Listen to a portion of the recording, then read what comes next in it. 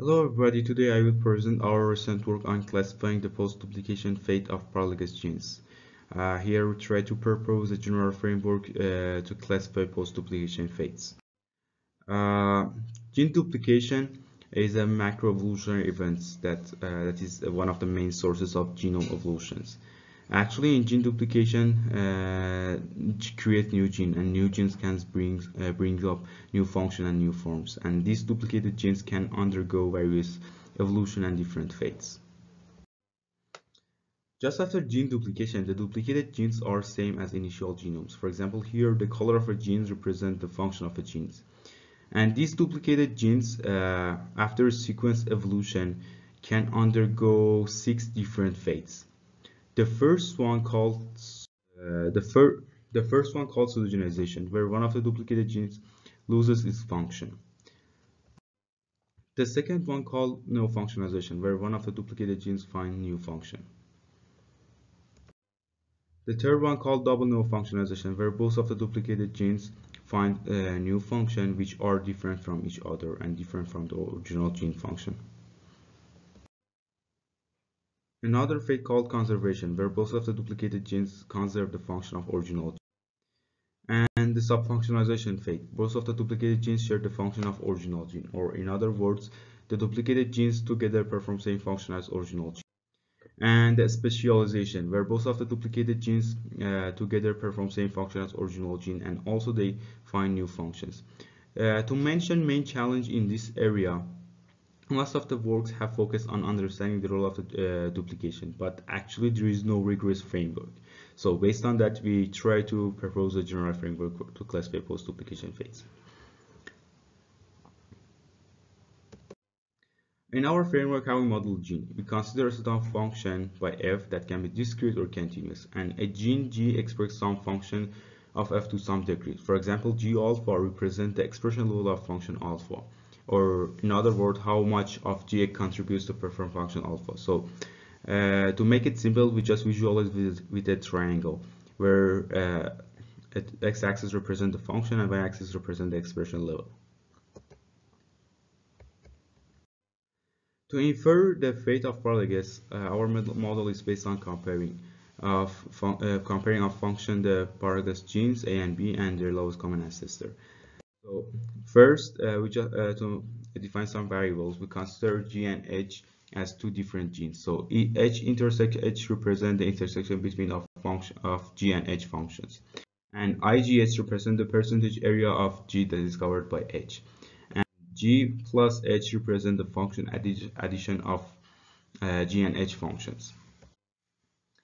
Uh, the first way was pseudogenization. Uh, for example, here the b loses its function and is uh, and uh, the expression level of b has uh, decreased. Uh, so, so the percentage area of g that is covered by b is close to zero. So we had this we, we infer this situation as pseudogenization. And neofunctionalization, the b finds new function.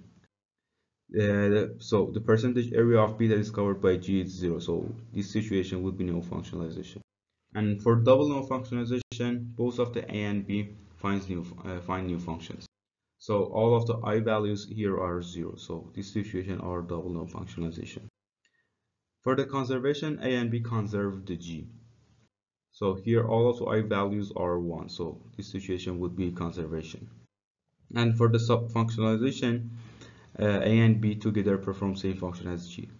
So we, here we expect the percentage area of g that is covered by a plus b uh, to be 1. So this situation would be uh, subfunctionalization. And for the specialization, a and b together perform same function as g and also they find new function. For example, here uh, the percentage area of, B, I, of A and B that is covered by GB should be bigger than 0 but not close to 1 to infer new function and also the percentage area of G that is covered by A plus B should be 1. How we compute fate of paralogs in a gene tree? So to compute fate we need, we need a triple combination of G, A and B. A and B as a paralogous gene and G as a lowest common ancestor. So for example here we consider root of the tree as a du uh, uh, duplication event and then we uh, consider all of the left descendants as a A and all of the right descendants as a B.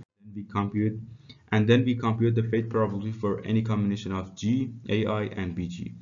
Uh, and finally, by getting average over all of these combinations, we will find uh, the probability for each uh, each of the fates.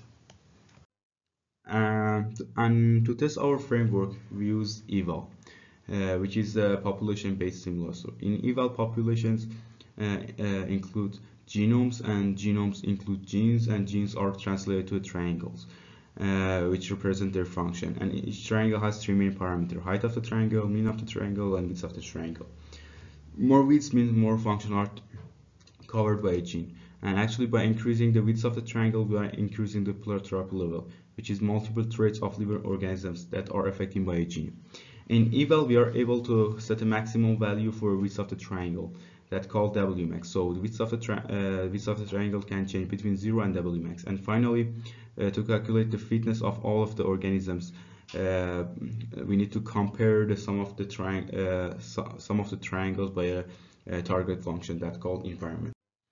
And before I start simulating, uh, we need uh, some initial genomes that called wild types. So we create four wild types with four different Wmax uh, that are evolved for 1 million generation in environment A. And also in our simulation, we consider four different environments. Environment A, which is same environment as the environment of initial genomes, and environment B, C, and D that are changed more respectively with respect to the environment A. To see some results, uh, when the environment uh, is the envir same environment as the initial genomes, the rate of the gene duplication uh, is low but when we change the environment the rate of the uh, gene duplication will increase. And also the uh, rate of the gene duplication decreases as the Wmax increases.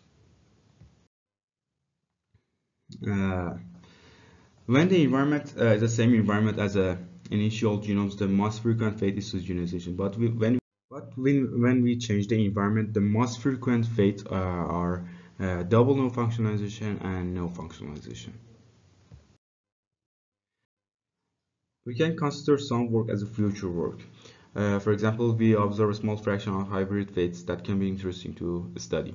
And also we like to classify post-duplication fate of uh, real data uh, using our approach for future work. And thank you so much.